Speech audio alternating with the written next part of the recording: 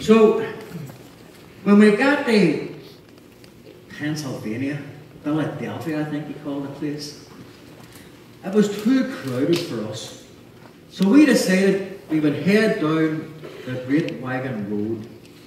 And sure enough, we found a wee place that reminded us of home.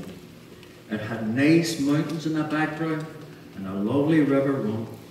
Sure, I think we could make something of ourselves here. No? We still miss the of place though, and all those that we left behind.